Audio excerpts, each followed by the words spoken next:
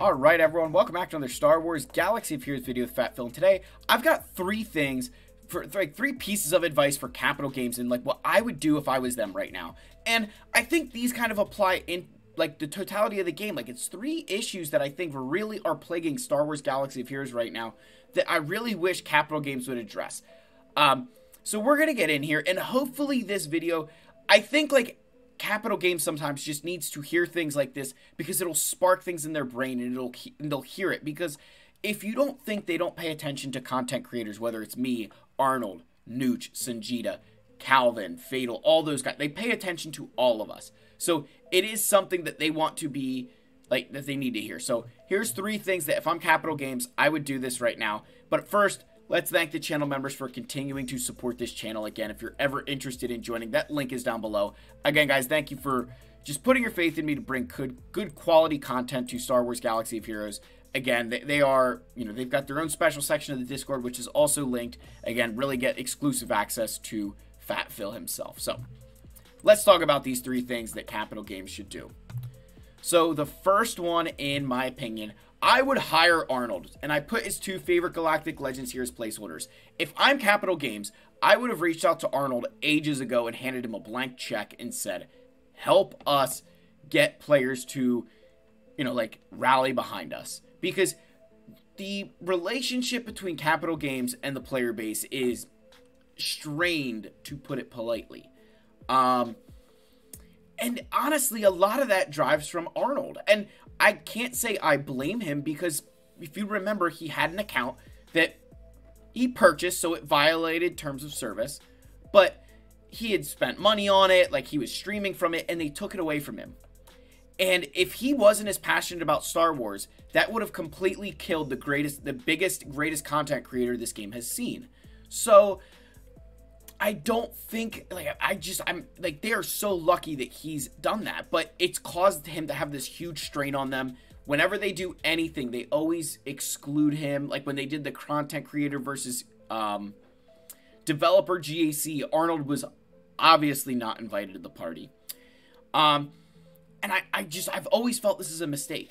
And I feel like and this was something actually I was talking with Nooch, he and I were just having a conversation on the side, and we both said the same thing. We're like, they should have hired him a long time ago. He has the biggest following. He's the most important part. And imagine you could get him on board. Imagine you bring Arnold and you're like, hey, be our tester. Show us how. What are you thinking? How does this work? Like he the one. He's the one that could fix this stuff. So I would I would do that if I was Capital Games. Next, I would put the same effort into character releases as we put into the release of Datacrons.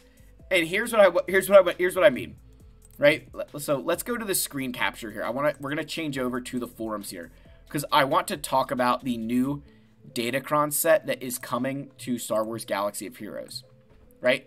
So it's been covered before, but here's the new Datacron set. Let me just scroll up a bit so my fat face isn't quite covering as much.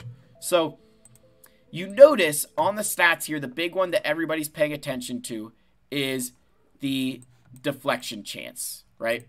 Oops, I zoomed in a bit too much. But there's deflection chance in here. Which, like, that's fine. Right? It's kind of like dodge, but not really because it's special damage, not physical damage. But here's where I say that they need to put the same amount of effort into the release of characters as Datacron. So we've got deflection chance coming.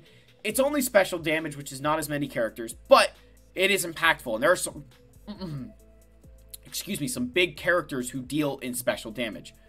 Fennec being one of them. But here's the thing. Do you want to know how well thought out this was? Like truly, you want to know how well thought out this that adding that stat in as a potential for Datacrons? And I'm going to go to my arena table because I saw one of my shard mates was doing this. Check this out. On the current Datacron set, there's a special accuracy stat. So not only is the next set having special uh, having deflection, which is about special damage, but the current set has special accuracy. This is genius planning by Capital Games. We're gonna get you to whale on the new Datacron set to get deflection chance, and oh yeah, guess what? If you didn't go and load up on special accuracy in the previous set, time to go do that too. So this was a genius move by them. And I wish that they would put the same effort into the because it, it, that does take effort. You think of the way the Datacrons get released, the characters that are coming with them, like they very much, very much time it to perfection. That like the set will end and Bane will be here. Like they've done a very good job of kind of maintaining that because it's a big part of their revenue. But with this current set, you know, going from hey, we're gonna have deflection and oh yeah, guess what? Well, there's special accuracy down here. Like they are trying to make sure that you whale on this set and the next one at the same time. And that to me is exactly how they're trying to maximize revenue. And I just wish that that same effort that went into thinking of these things, putting it in the game, went into, hey, well, one, let's make sure that it'd be nice if our king was better, but um, that it went into character releases. Because I'll tell you what, if Darth Bane comes into the game and falls flat on his face and is either too good or not good enough, it's going to look bad on them. It's going to say that they didn't test, which all goes back to, you know, hire Arnold. But, like, put the same effort in. If you're going to plan that far ahead with Datacrons, plan ahead and test Bane. Make sure that he's working exactly as you want in every single scenario.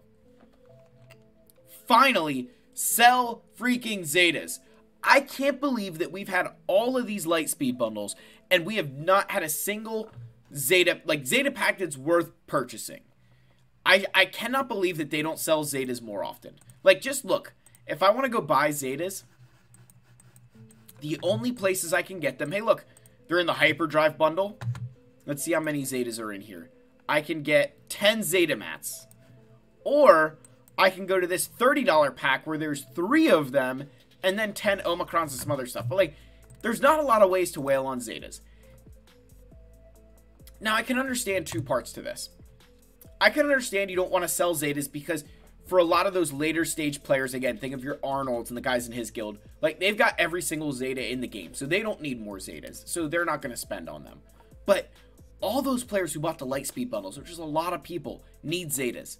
And I think that would be a genius move if you were to sell a Zeta pack. I guarantee you, you could sell 20 mats for. I mean, I'd say five bucks, but I bet you could probably get up to 10 and people would still buy it. Like, that's how bad people need Zetas right now. And it just amazes me that Capital Games hasn't put out a Zeta pack, like, once a week with that.